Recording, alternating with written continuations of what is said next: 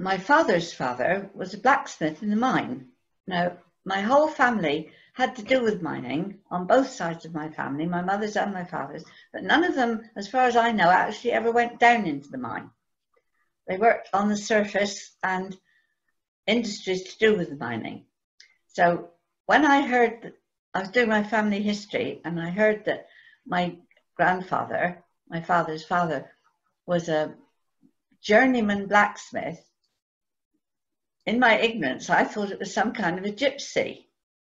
And so I thought perhaps they went around sort of camping out and showing people's horses. And then I found out from a friend of mine, he said a journeyman blacksmith was the most skilled blacksmith that you could get. It meant he did everything. And I said, well, what would they be doing? And he said, well, think in those days, what they were doing is they were making all the tools for the mine. They were maintaining any part that needed replacing on the machinery. And in fact, they were very versatile tradespeople and very, very important in the mine. So that lifted me from being gypsies into being tradesmen. Anyway, uh, he was a mine blacksmith, and I think that the mine that he was is the one at the top of Tucking Mill, if any of you know where that is. And they lived in a house just below it, below the mine because most people in those days tried to live as near to their work as they possibly could. Then my other grandfather, he worked at the big mine, which was called Dolcoath. When he worked in the actual mine itself, what he did was collect all the samples of different grades of tin because it's not all the same grade. And the expensive tin would be obviously paid much more for. And he used to put the tin into little test tubes. And my mother said he used to bring it home to do. Now, he was not a qualified geologist or anything like that, but he was doing work that people now would be have to be qualified to do. And he would then get this ready, and then that would all be shown to the buyers when they came of what samples of what had come out and so that was how it was priced. Now, as far as I know, although he didn't actually have a trade at it, it was known as tin grading. And probably he didn't get paid half the money that he would have been paid had they employed someone qualified. But nevertheless, he did the work fairly well. Now, I don't know if anyone knows, but tin is mined something after the fashion of gold, or the raw tin is taken out of the mine, but as the water flows out of the mine, which all mines had the water flowing out of them, people would set up little industries towards there in the sea to which the stream was flowing. And these little industries would extract any tin that was left. Now, they weren't as wealthy, of course, as the miners, but they did make a living. I think the old miners must have had like a pan or a big shovel and they would tilt the shovel so that the tin came to a point because the tin was a lot heavier than the rest of the soil. Well, over the years, they developed these huge tables, which were, they had a supply of water going to them, which did exactly the same thing as if the men had been dipping a shovel into the stream. So it was rather like gold mining, but it became mechanized. And so that's how they would catch this tin. And then the tin being heavier would separate itself out. They would then collect it and they could sell it to the assayers. And these tables used to be um, down at Gwithian, or one lot of tables. There were several tables in Cornwall, but my grandfather, my mother's father, was a foreman later in life on the tin streams.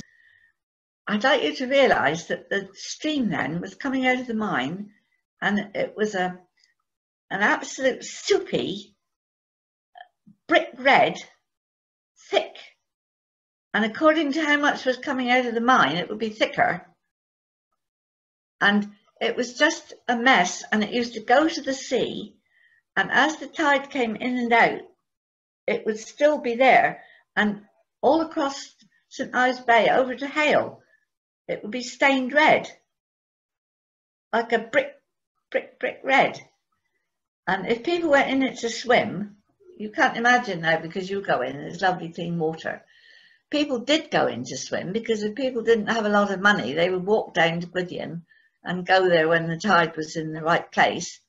And all the suits and everything would be covered in this red residue.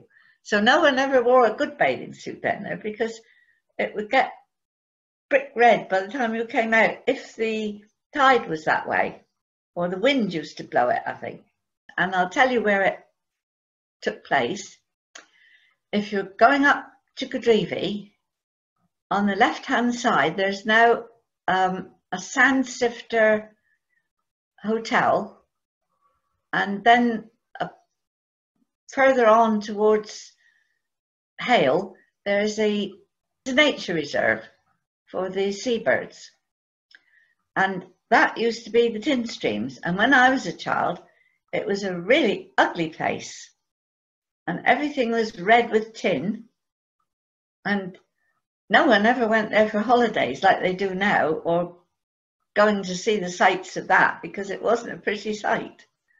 And so my grandfather used to walk, and if you go in the car from where I live, you realise it's quite a way, but cross country because all the miners used to use what they call the miners' pass. And my grandfather would walk from Camborne every day. I think they lived in College Row then. And he would walk from the middle of Camborne down to that place every day and back. And the big treat was if they had a friend who had a donkey and shay, because in those days, for the working people, it was a very good thing to own a donkey. And they had these little carts called shays. And of course, the men would jump on this if, if the man consented to give them a lift. They would think they were well done by that day. But other than that, they would walk both ways. Which, when you think they then came home and did their vegetable gardens, which were always immaculate, and fed the family. And that was must have been a very, very long day in the summer. Maybe in the winter they couldn't be doing the vegetables, but they did the vegetables. Every man, that was another pride that people didn't have an unkept garden. Everyone had beautiful vegetable gardens and it was a point of pride as to who had the best garden. Now, my explanations have not been technical, they're just things that I could tell you about, but I could recommend if you come down to Cornwall on holiday, we've got several places which would take you round and actually show you and go down and see it. Some of you have already done this, but if you haven't, I'm sure you'd have a great time doing it and probably a it at the end.